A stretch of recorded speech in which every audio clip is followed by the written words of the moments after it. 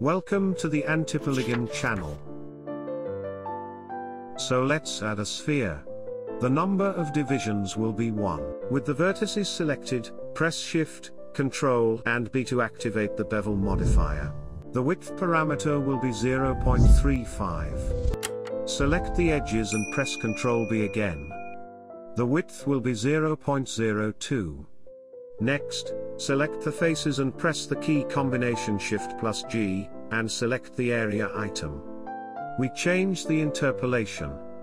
And press G plus Z to enlarge our planes. The size will be 0.1. Next, carefully select our edges, again Shift plus G and select face angles, and again Ctrl B. It remains the most interesting, honestly, press Ctrl plus 3, and add the subdivision modifier. After it we find the cast modifier. And with the right mouse button, add shade smooth. Let's add some color to the ball. Let's switch to shading mode. Let's add a new color.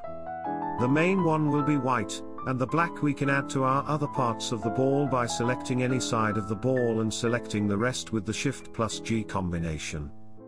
Write in the comments, if you were bored listening to me. I'll joke more often. If it's not hard for you, please give me a huge like, for me. I would be very happy about it. Also, don't forget to subscribe to the channel. I think you are right to play with the colors of the ball. We are all children, well, I think that this lesson can be brought to an end, I was glad to be with you. Peace and goodness to all.